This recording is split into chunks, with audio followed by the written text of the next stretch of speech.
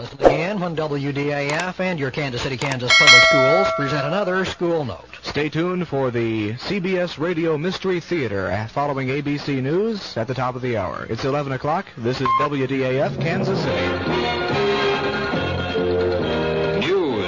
Hour on the hour from American Information Radio. This is George Caldwell from New York, and at this hour, Vice President Gerald Ford says if the Senate Watergate Committee would reduce the size of its request for presidential documents, the White House might be willing to compromise. The committee is seeking hundreds of papers and tapes. Former Attorney General Elliot Richardson sides with President Nixon in his refusal. In McLean, Virginia, Richardson explains. I think the committee uh, seems to me to have uh, cast its net too widely. They haven't, so far as I know, uh, made what I would regard as a sufficiently clear showing of why they wanted what they've asked for. And I think the president uh, is entitled at least to request that uh, they make such a showing before he produces any tapes or documents. Former Attorney General Elliot Richardson. Hope for changes in Arab oil policy. That story coming up. Drums. Drums. Are they drums for peace or war, dance or destruction? Like America drums or hate America drums? This is Martin Gabel to tell you that you can help influence the beat. Young people in the developing countries of South America, of Africa, of Asia are eager to find out more about America, to understand our people and our ideas. You can help through Freedom House Books USA. Six dollars sends a packet of ten books to a young student, maybe a future prime minister, maybe a future doctor or teacher. He can choose from 120 books books. Books on history, biography, science, and literature. The Russians send thousands of publications to him, but you, with your six dollars, can help inspire a love for freedom.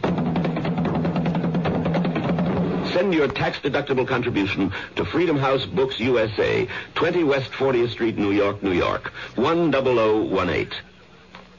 Energy Director William Simon says he's now hopeful Arab oil producers will not only end their price increases, but roll back oil prices. But Simon predicts even if the Arab embargo on U.S. shipments ends, American consumers still face shortages. An Egyptian official in Washington today defended the oil cutoff. Ambassador Ashraf Gorbal tells newsmen. Oil was meant only to ring a bell. Ring a bell wide and clear in every door, in America and in the world, that we too are human beings. We too are suffering and we have been suffering for the past 25 years. Gorbal is to be the Egyptian ambassador to the U.S. when diplomatic relations are restored. Gorbal was on the CBS program Face the Nation. Heavy rains have fallen throughout the day in Los Angeles. Forecasters predict more rain. It has set off mudslides, especially in the Topanga Canyon, 40 miles northwest of Los Angeles. However, there's one proposal for making good use of the weather. Correspondent Ann Kestner has details from Los Angeles. Here in California, there are those who are talking about tower power as an alternative during the energy crisis. The term refers to windmills atop towers on rooftops. Solomon Kagan, a young Guerneville, California businessman, is selling such windmills, which he imports from Australia. If the wind's blowing, the windmills, which cost $1,000 and up, can generate enough electricity to power homes much of the time. Extra power churned up by the wind generators can be stored in special batteries, good for three windless days. Ann Kestner, ABC News, Los Angeles. Eleven people were killed tonight at Johnstown, Pennsylvania when an Allegheny commuter flight from Pittsburgh crashed just 100 feet short of a runway. The six survivors of Allegheny 317 are in critical condition. The co-pilot is among the survivors. The plane, a Beech 99, struck approach lights recently installed to aid pilots making landings in bad weather at Johnstown, Pennsylvania. Country and Western singer Tex Ritter was buried today at Port Neches, Texas. Ritter died of a heart attack Wednesday at age 67. This is Information Radio News. From the Kurt Murray Sports Desk, the Kansas City Omaha Kings hope to be hosts for the National Basketball Association All-Star Game in 1975 or 1977. If the Kings are successful, the game will be played in Kansas City. General Manager Joe Axelson says he hopes to trade dates with Milwaukee or Phoenix so the All-Star contest can be played in the new sports complex.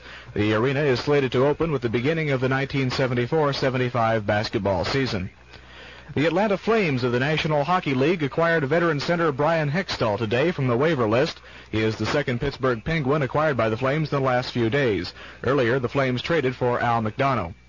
Southwest Missouri captured the Missouri Intercollegiate Athletic Association basketball tournament crown by defeating previously unbeaten Lincoln University 80 to 75.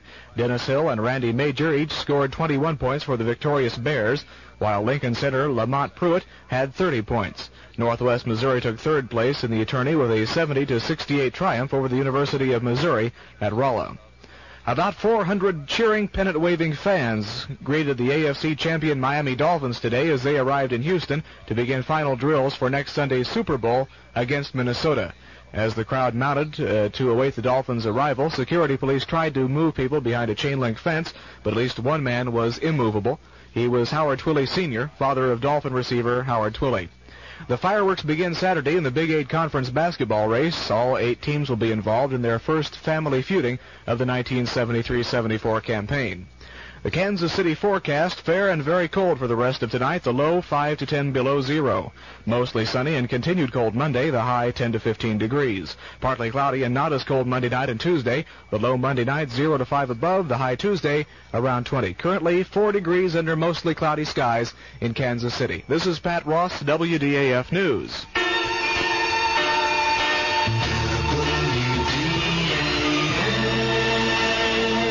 The CBS Radio Mystery Theater presents.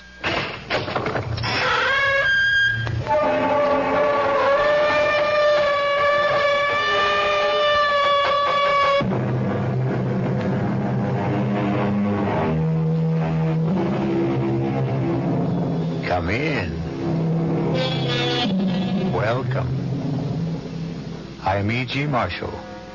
Welcome to the sound of suspense. Welcome to the fear you can hear, but mostly to the world of terrifying imagination. In the story you're about to hear, the heroine is a young woman of 77 who has reached her golden years with her sense of independence intact, with a spryness to her limbs, very good vision, and excellent hearing. But as you are about to learn, there are times when hearing well is not a blessing. I did it, Mrs. Canby. Are you listening to me? I killed Richardson. Oh. I did it. Me. No, no, no. I don't want to hear it. Mr. Paulson, please. Please don't tell me about it.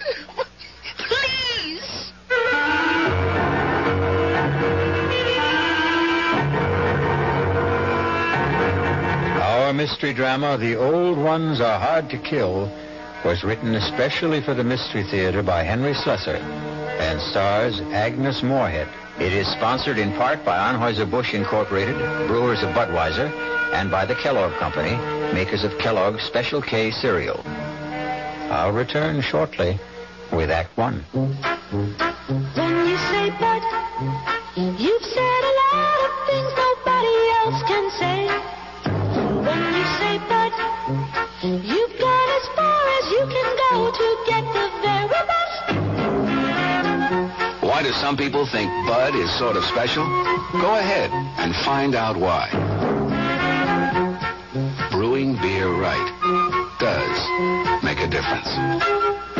When you say Bud, you tell the world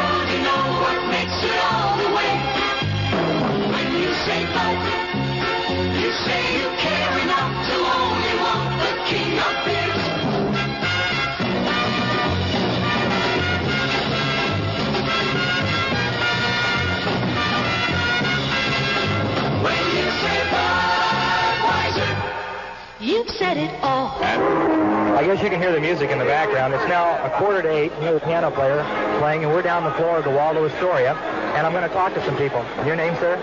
Biagio Canty, Grandview, Missouri, originally from the Bronx, New York. Oh. Have you ever been to a dinner theater before? No, I haven't. How was the service? Wonderful. You look like you're enjoying yourself. I sure am. Thank you very much. I hope you enjoy the show.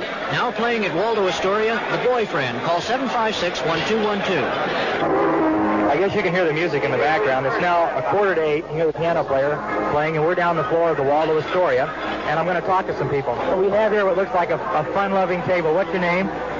Pat Blue. Where are you from, Pat? Kansas City. From Kansas City. And uh, your first trip to the Waldo Astoria. What do you think of it?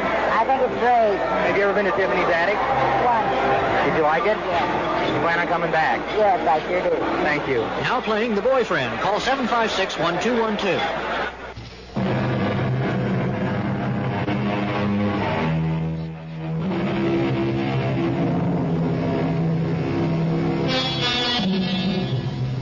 And now here's Act One of The Old Ones Are Hard to Kill.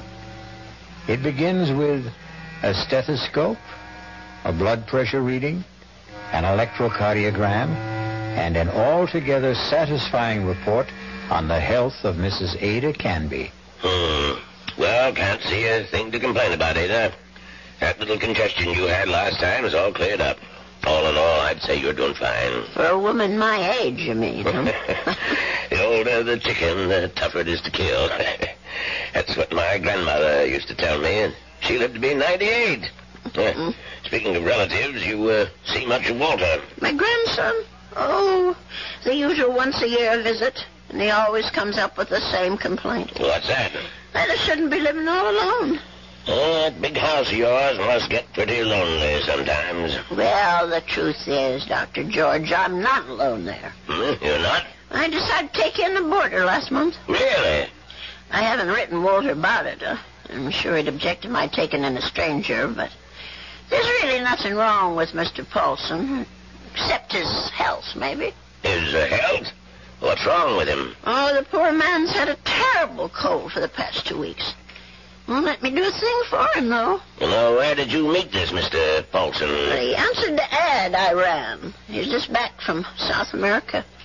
Been living in Brazil for years. He's a very nice gentleman, really. He keeps himself and tends his birds. He has the loveliest blue parakeets. You can hear them chirping all over the house. Oh. It's the friendliest sound. Well, I, uh, I don't see anything wrong with what you're doing, Ada. Just make sure you don't go and catch the man's cold. There's not much chance of that. Poor man hardly ever leaves his room. Well, how much do I owe you? I'll send you the bill. I'm sure you'll forget all about it. Promise me you'll send it.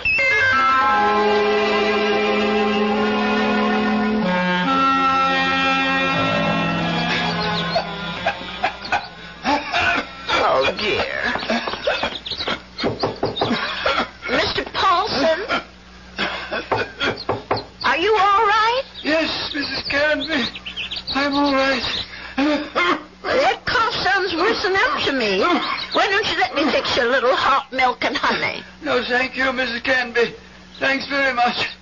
I'm going to try to get some sleep. Well, all right, if you say so.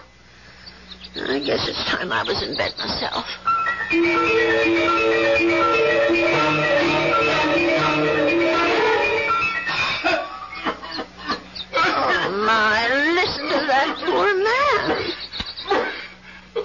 If he keeps his birds awake, too. Mrs. Canby, please, please. Heaven's sake, is he, is he calling me? Mrs. Canby. He is calling me. Um, I'm coming, Mr. Paulson.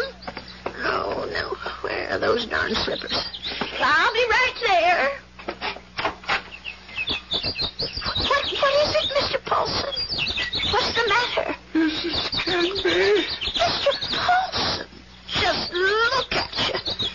Why didn't you tell me you were so sick? I would have called a doctor. No, no, too late now. Too late. I, I know a very good doctor.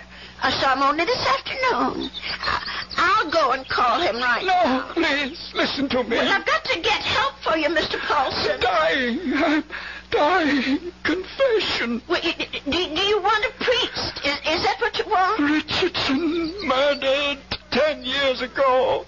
What? Murder. I did it. I killed him for money. I was paid. Did you hear me? Oh, Lord. Uh, Mr. Paulson, do you know what you're saying? Do you understand me? Lindell is innocent.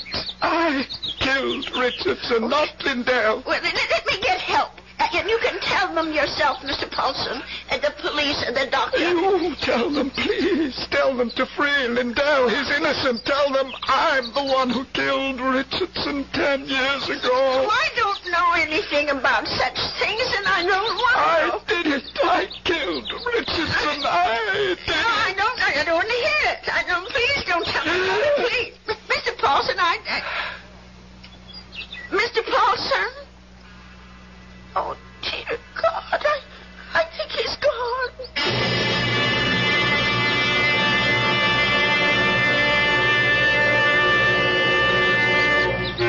Listen to those poor little birdies. I suppose they miss poor Mr. Paulson. I'll lay them in his room. See about this letter now. Dear Walter, I hope you don't mind my turning to you for advice, but I really don't know what to do.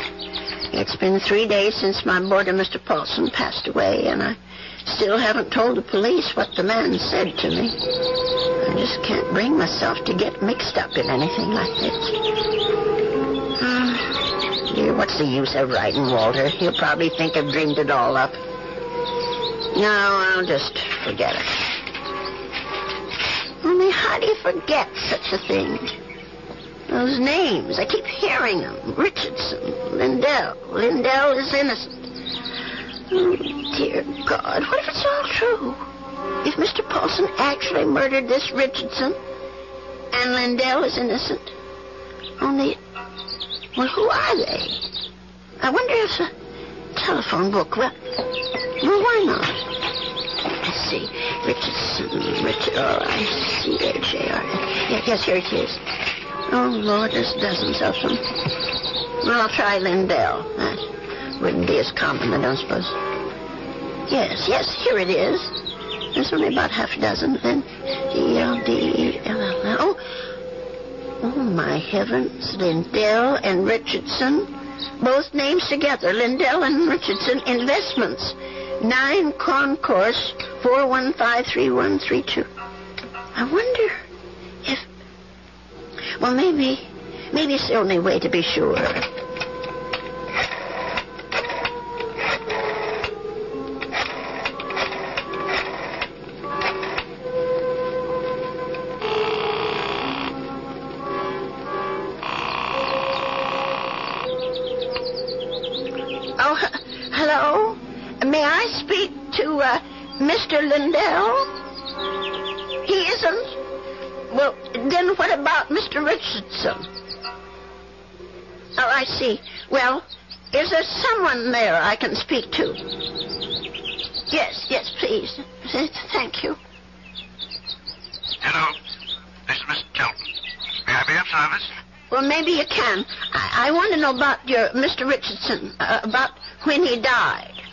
I did business with him once, uh, a long time ago. Well, it's ten years, madam, just about. But uh, if you're interested in investment advice... Well, I'll think about it. Thank you very much.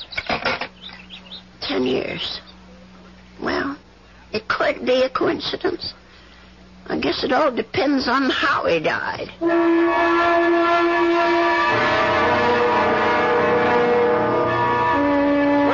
Mrs. Canby, please come in. Have a seat. Thank you. Well, now, how can we be of help to you? I didn't come here to get help, Mr. Shelton. I came to help you, as a matter of fact. Or rather, somebody you know. Who would that be? Uh, Mr. John Lindell, the man who was supposed to have murdered Mr. Richardson. I'm afraid I'm not following you. Well, it took me all week to find out what happened to those two men, and finally I found the story in the old newspaper room down at the library about Mr. Lindell being indicted for killing his partner. But I'm, I'm sure you know the whole story a lot better than I do. Well, of course, I know the story, but that was quite a long time ago, Mrs. Canby. Ten years doesn't seem so long when you're my age. Anyway, the point is that I can help your Mr. Lindell, only I can't do it alone. Did you know John Lindell? No, no, I didn't. Nor Mr. Richardson, for that matter. The man I knew was named Paulson. Who? I rented a room to Mr. Paulson, and he died about eight days ago of pneumonia. I was there when it happened. Well, that's unfortunate, but... Uh... Before he died, Mr. Paulson told me something about Mr. Richardson's murder. He said Mr. Lindell hadn't been responsible, that he, Mr. Paulson, had committed it. For money. Mrs. Canby, listen to me. It was this man Lindell that bothered him. The fact that he was in prison for something he didn't do. I thought I should tell you this, Mr. Chelton, because you knew both of these gentlemen. It said so in the newspaper. Mrs. Canby, my, my dear woman. What? I don't know what silly story you heard, but it's completely wrong. There wasn't any question about what happened. This boarder of yours, whatever his name is, merely had an obsession. Well, just the same, I thought you could follow through on this business. Yeah. Tell the police. Because if it is true, Mr. Lindell should be freed. On evidence like that? Well, I don't know anything about evidence. I'm just telling you what I heard. Well, never mind. I suppose I should have told the police myself. Oh, wait, wait, Mrs. Canby. Uh, let me put your mind at rest. John Lindell is no longer in prison. He isn't? He's dead, Mrs. Canby. He's been dead for the last three years. Oh. He wasn't a young man when all this happened, when he accused his partner, Fred Richardson, of defrauding him and shot him dead. He died? In prison?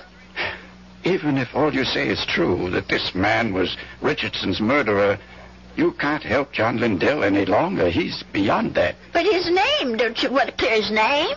Have you any proof? Any living witness? Uh, Just myself. But you'd be willing to involve yourself? Start a whole new investigation? Open up the whole dreadful mess again? Mrs. Canby, do you know that John Lindell had a daughter? No.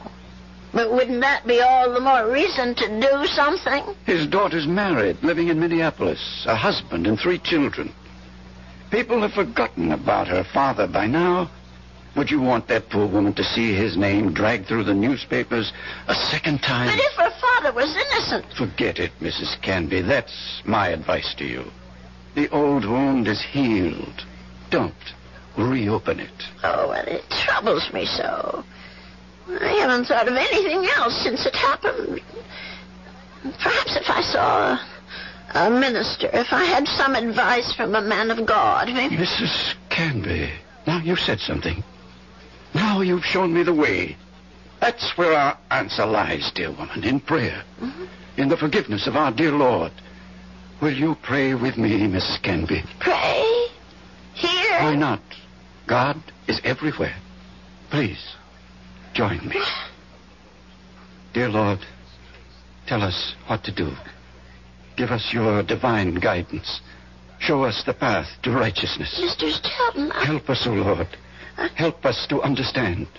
Teach us to forgive the sins of others and to forget them. To forget. I feel much better now, Mrs. Canby. Do you? I'm not sure. Let us turn this matter over to God, Mrs. Canby. Not to the police, but to the Lord. It's in His hands now. Don't you agree? Well, in a way, that's true. Since they're dead now. All of them.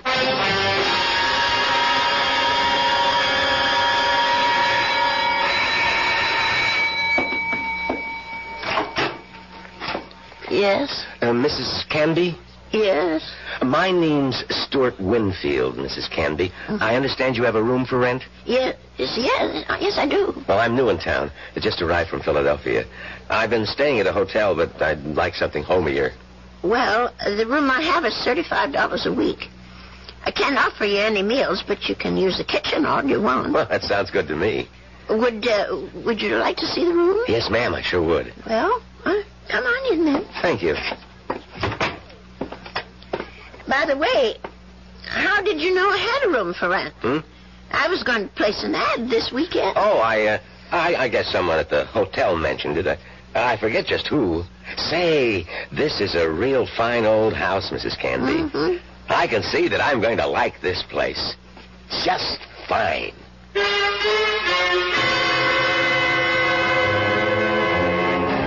And so Mrs. Canby has a new boarder. He's a very personable young man with a great deal more charm than old Mr. Paulson had. Perhaps in a little while Mrs. Canby will be able to forget her former boarder and the shocking confession he made on his deathbed. I'll be back shortly with Act Two. And now another tale of the ball and chain. At Kellogg's Special K presents Overweight on an overnight train. Is the seat taken? Please sit down. You have exceptional legs. uh, but why is one of them attached to a ball and chain? This ball and chain? It's a symbol. Funny, I would have sworn it was a ball and chain. I mean symbolic. Because carrying around a few extra pounds can be just like lugging around this ball and chain. I see. May I suggest something? Uh. Try a bowl of Special K skim milk, orange juice, and coffee. It's the Special K breakfast. Will it make me lose weight? No. Oh. You must also exercise and eat smart at every meal. I see. Do you know the Special K breakfast is less than 240 calories, 99% fat-free, and delicious? No, but if you hum a few bars over time. And that's another tale of the ball and chain. Your happy ending could begin with the Kellogg's Special K breakfast. That's Kellogg's Special K. Good night. Take the time to listen. Take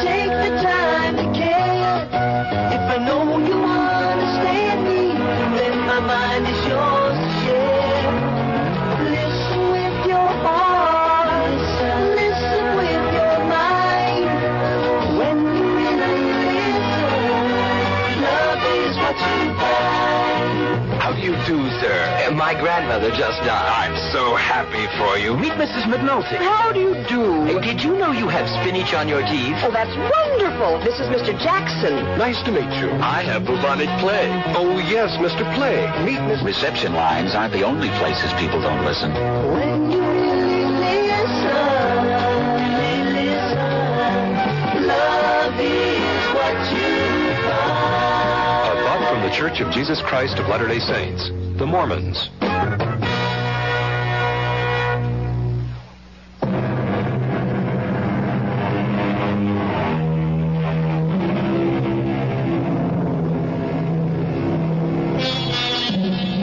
Stu Winfield took no time at all to make himself at home in Ada Canby's big old house. He loved everything about his room. The fine old four-poster bed, the crazy quilt that Ada herself had sewn up 40 years ago, the lace curtains on the window. He even loved Mr. Paulson's blue parakeets. But what he really seemed to like best was Mrs. Canby herself. Just take me two minutes to get these clean sheets on the bed, Mr. Here, let me give you a No, hand. no, no, I can manage. I've been making this bed for almost 50 years. Fifty. You've lived in this house that long? Moved in here when I got married back in 1919. My husband David bought it for us. Our only son Ralph was born in it. And you've lost them both? Yes, they're both dead, but I haven't lost them. Oh, yes, yes, I understand, Mrs. Canby. I guess I feel that way about my mom. Your mother's dead? Yes, she died when I was two.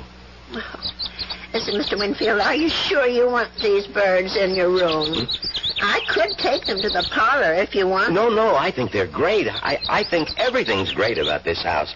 Uh, but there is something you can do for me. What's that? Would you mind not calling me Mr. Winfield? Oh? Uh, that's what they call my father. My name's Stuart. Well, well, all right, Stuart.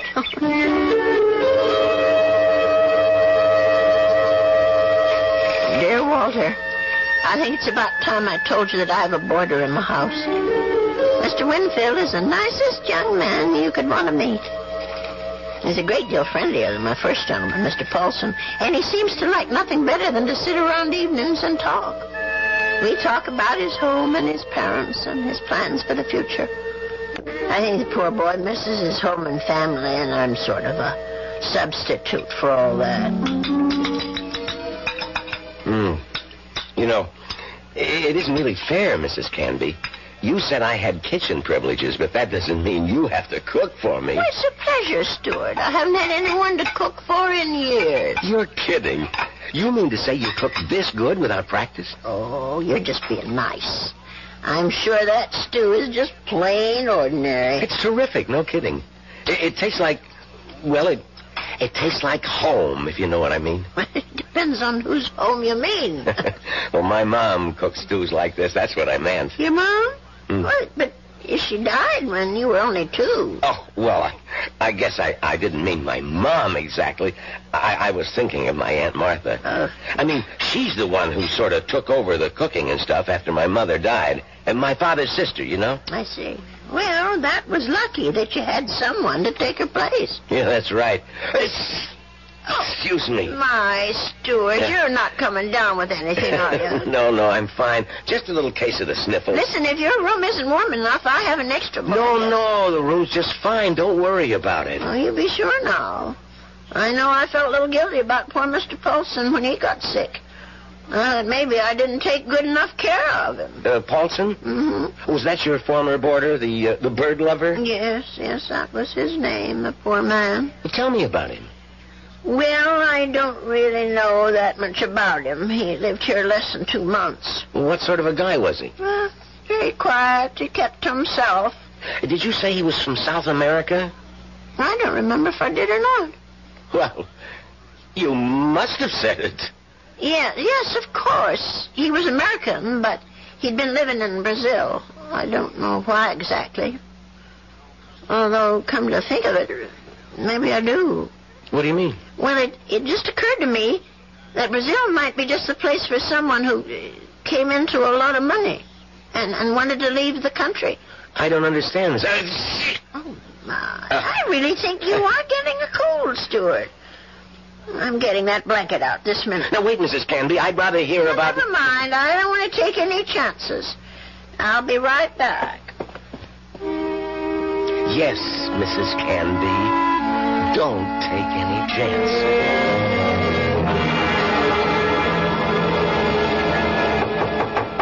Stuart, Yes? Come in. I brought you a tray, Stuart. Oh. No, you shouldn't have. you shouldn't have gone to all that trouble, Mrs. Canby. Wasn't the least bit of trouble. Besides, you've got to have some supper. Feed a cold and starve a fever. That's what I mean, I, I was going to come out to the kitchen and and get myself a sandwich or something. You didn't have to bring it to me. Oh, look at that. Is that roast chicken? Well, that's what it's supposed to be. Mm. I hope it tastes all right. Noodle soup with dumplings. Mrs. Canby, you're spoiling me rotten. Do you know that? Anyway, I just thought it'd be a good idea if you stayed in bed and took it easy. You weren't planning to go out tonight, were you? No, no, I was just going to stay in and read for a while. Maybe watch television. Oh, that's good.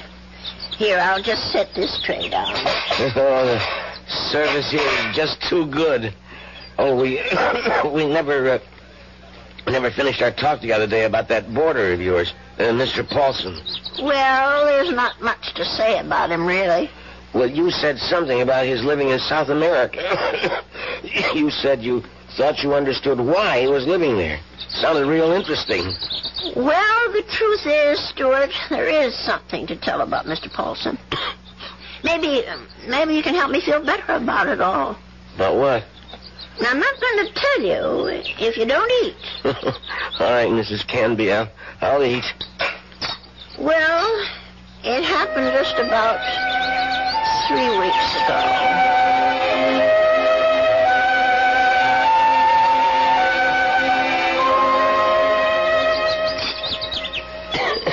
You know something, Mrs. Canby? That's about the best roast chicken I've had in years. I'm sure I spoiled your appetite with all my chatter. No, no, that was a really interesting story. But what do you think of it all, Stuart? Hmm?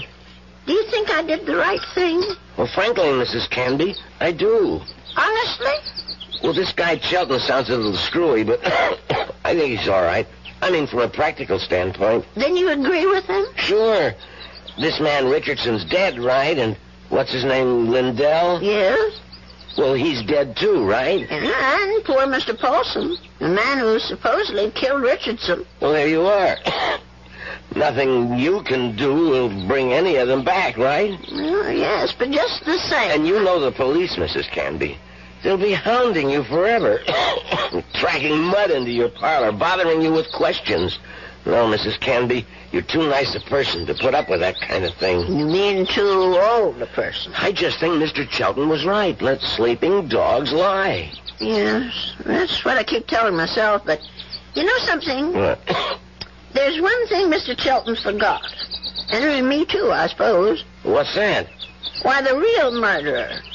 He may still be alive, even if all the others are gone. Don't you see? No, I, uh, I don't. Even if Mr. Lindell can't be helped anymore, that doesn't mean the real murderer should get away. But the real murderer is dead.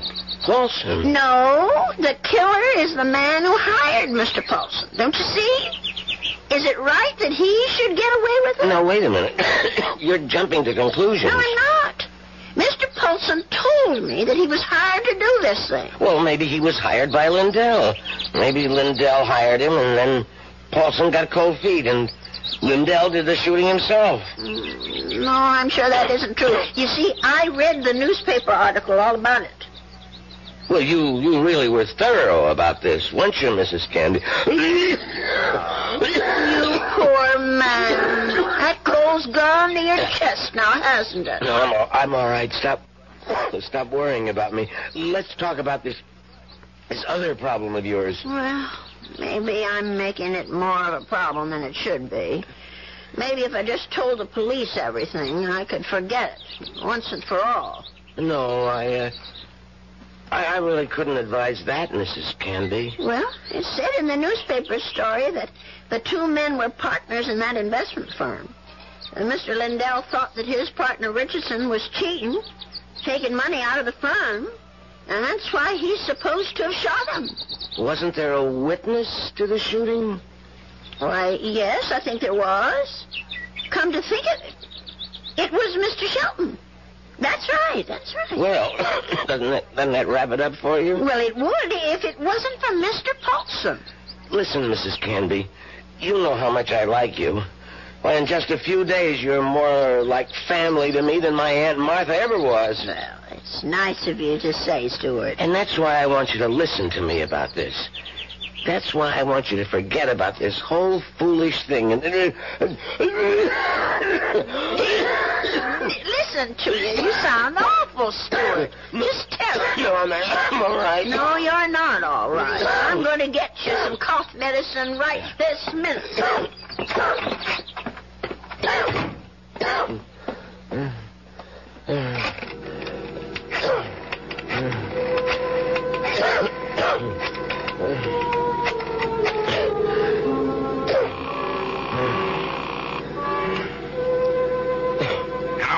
Uh, Mr. Chelton, it's it's me, Winfield. Well, what's happening? I think I better stick around for a few more days, Mr. Chelton. The old lady's beginning to get fidgety, if, if you know what I mean.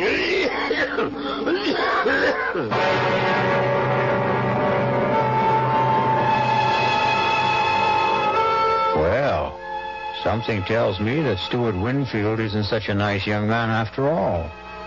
Could it be that he wasn't telling Mrs. Canby the truth about his dear mother and his Aunt Martha?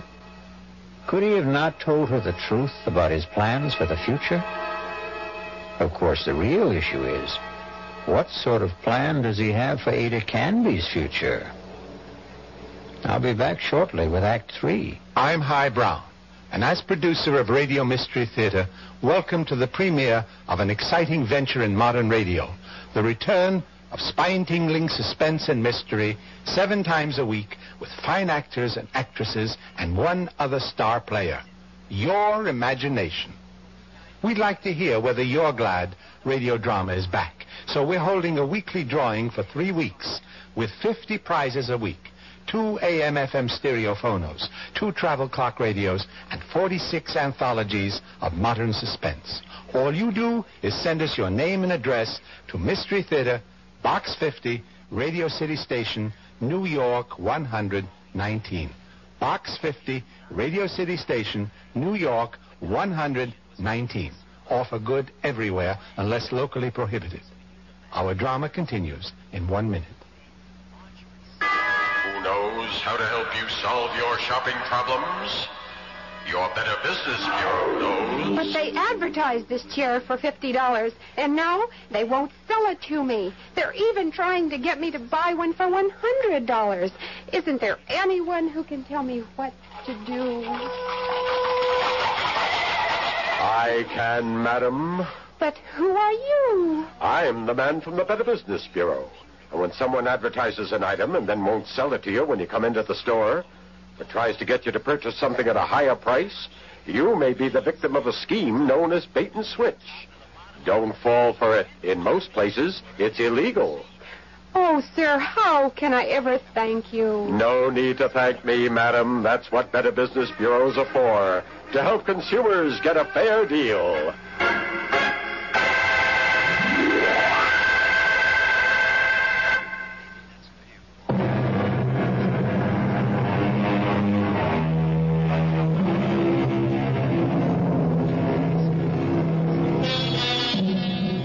Poor Mrs. Canby. She isn't sleeping well tonight. But of course, Mrs. Canby has good reasons for insomnia. Her thoughts are whirling. Her boarder Stuart was right. She doesn't want the bother of going to the police. And she firmly believes in the old adage, if you don't trouble trouble, trouble won't trouble you. But still, Oh, my. I'm just never going to get to sleep tonight. Poor Stuart. He's still coughing. I'm sure that room is just too drafty. We never should have let any boarders in until I got the windows fixed. Oh, dear. That poor boy. I'll never forget the terrible night Mr. Paulson was coughing so badly. Huh? And the way he looked, all gray and shrunken. If only I knew he was so sick. No. If only he'd never even come to this house. Mrs. Canby, I killed Richardson. I did it. Will I ever forget the sound of that man's voice? Lindell is innocent. Lindell is innocent. That poor man. All the years he spent in jail for something he didn't do.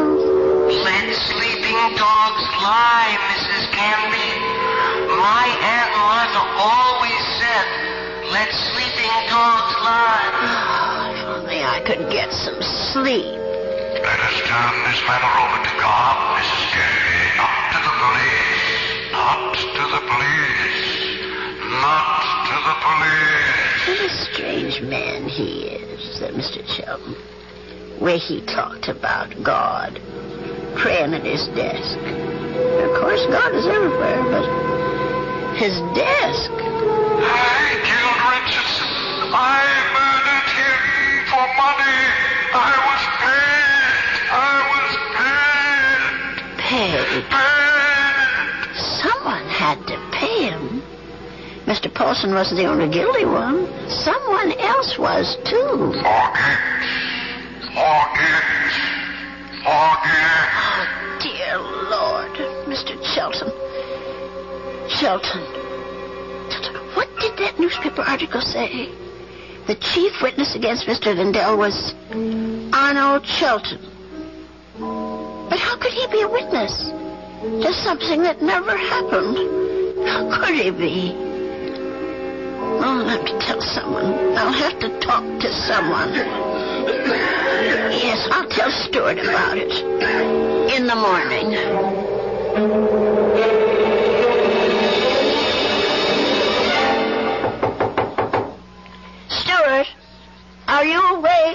Yes, I'm up, Mrs. Canby. Come in.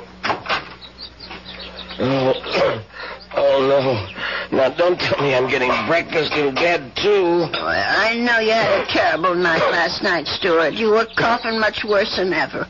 I guess that medicine wasn't very good. Sorry I kept you awake, Mrs. Canby. No, that wasn't your fault. No. Something else kept me up. What was that? Oh, my mind, I guess.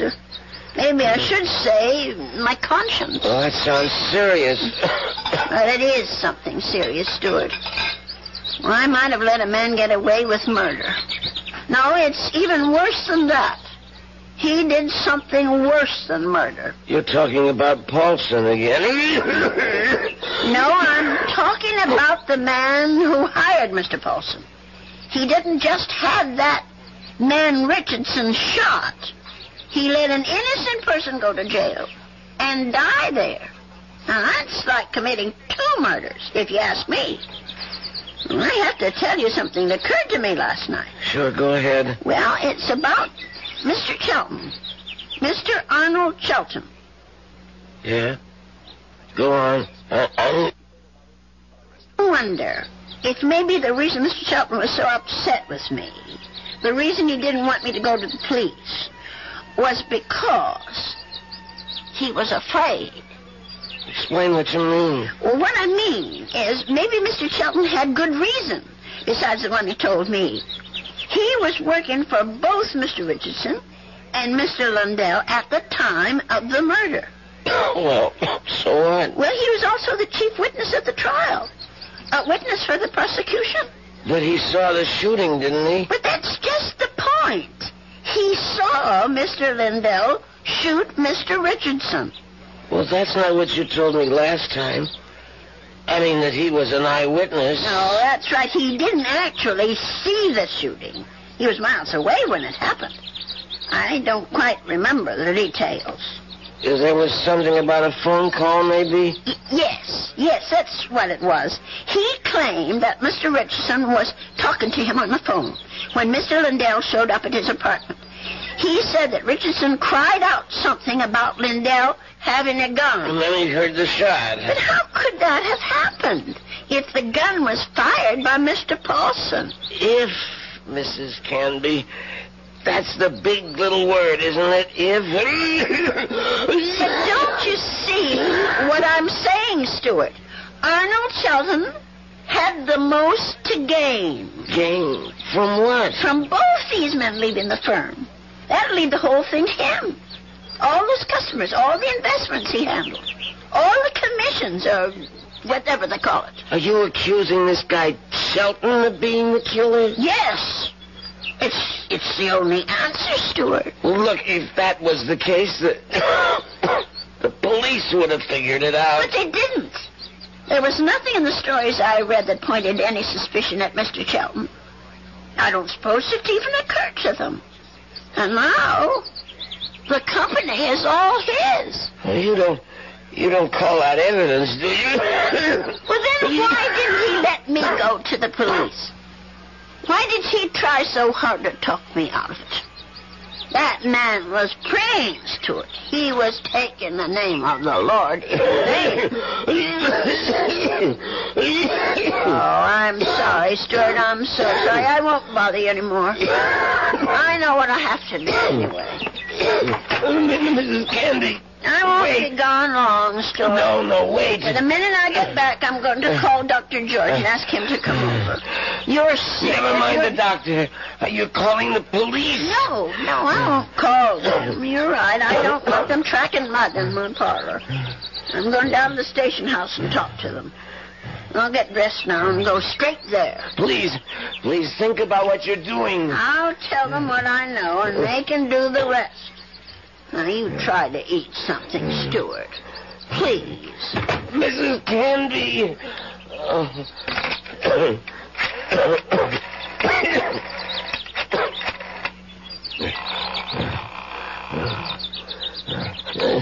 Sheldon, What is this, Winfield? I told you not to call me in the office. it's emergency. You sound terrible. What's the matter with you? I'm sick. Only you're going to be a lot sicker. What are you talking about? The old lady. I can't stop her. She's decided to talk. What? She figured it out. Figured out exactly what you did, Sheldon, and how you did it. You fool. You've got to stop her. Do you hear me? That wasn't part of the deal, Sheldon. It's all of the deal now. The price didn't include anything like that. The price just doubled. Old ladies are always having accidents. Make her have one. Make her have one now, Winfield. all right, all right. I, she's gonna, she's gonna have a fall down the cellar steps right now. I, I gotta get my robe on and my slippers. I, I gotta hurry.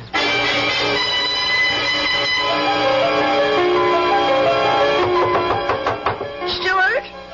Is that you? Open up, Mrs. Canby. For heaven's sake. Stuart Winfield, what are you doing out of bed? Now, you go right back there this second. I second.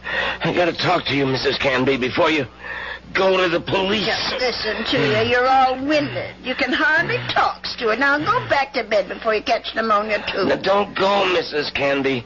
It would be better if you never went to the police. Better for you.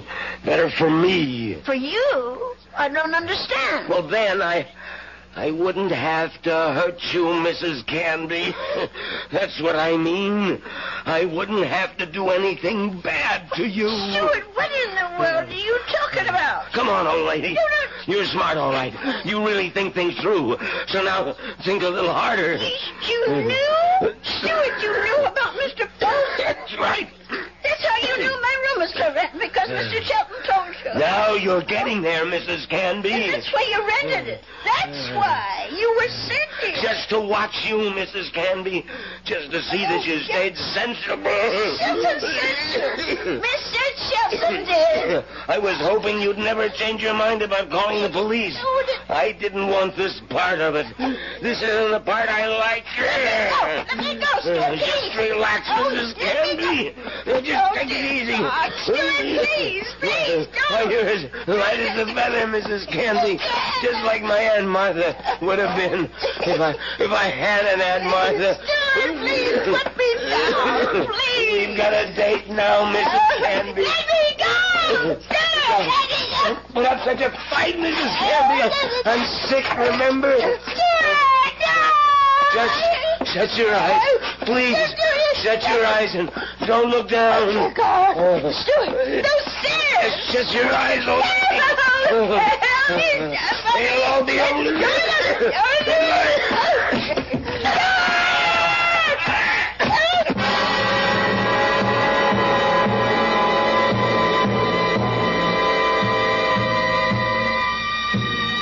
It's, uh, it's all right now, Ada.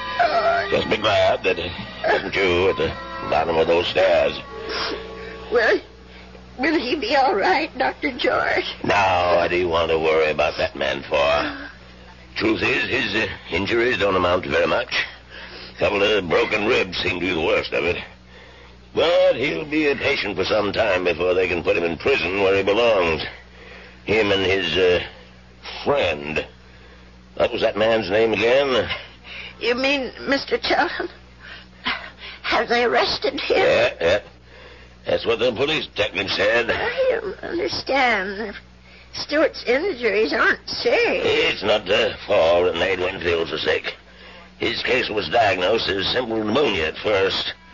And then I remembered about your first boarder. Nelson, was it? No, Paulson. Yes, Nelson. But he had pneumonia, too. He died of it. Oh, is, is pneumonia contagious? Yes, yes, it is, but this disease was even more contagious. It's a pneumonia caused by a disease called psittacosis, better known as parrot fever. Uh, Uh, you get it from sick birds, like the parakeets in your spare room. oh, no. Mr. Paulson's bird. Sorry, Ada, but they had to be taken out and destroyed. Oh, what a shame. Uh, there's one reason I, I feel sorry for them. They saved your life. Made Mr. Winfield too weak even to throw a little old lady down a flight of steps. Those poor little creatures. Yeah, but you can be grateful they didn't make you sick, too. Parrot fever is so contagious that no more than one person in a thousand could be exposed to it and escape infection. It was pretty darn close to a miracle, Ada. They're hard to kill, Doctor. Remember? The old ones are hard to kill.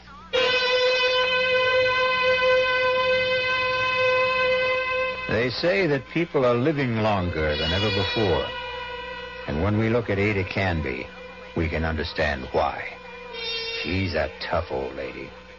So tough she could withstand the threats of man, beasts, and bird. So let that be a warning to all those who think that our senior citizens are easy prey for crime. Watch out. They may turn the tables on you. Or the stairs. I'll be back shortly. This is Phyllis Diller. Playing comedy and being funny is my life. now, when you hear my voice, you expect a joke and a laugh. But my kind of laughs and jokes are no help at all to a very special kind of people mentally retarded children. You can help by being someone who cares, someone who will help. With help, with proper training to stimulate his mind, and with love and patience, every single mentally retarded child can gain a better understanding of his world. But this takes a lot of work and so much time. It's a big job. Won't you help the people who are trying to get the job done? Your local association of the National Association for Retarded Children. Call them.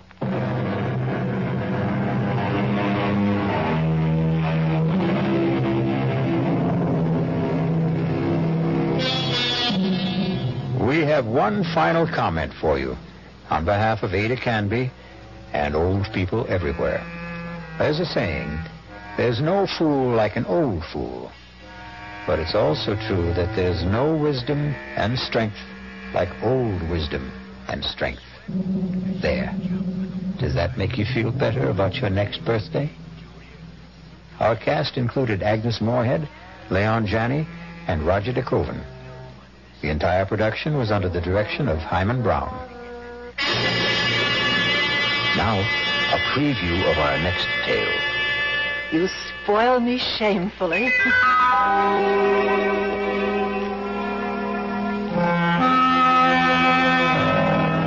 And that night, I spoiled her just a bit more by bringing hot cocoa to her in bed. No, no, drink it down now. Does it taste all right? Oh, it tastes just fine. Now, that was very good news, because I'd prepared the hot cocoa myself. And I had no idea whether 25 melted sleeping pills would seriously affect the flavor. This is E.G. Marshall inviting you to return to our Mystery Theater for another adventure in the macabre. Until next time, pleasant dreams.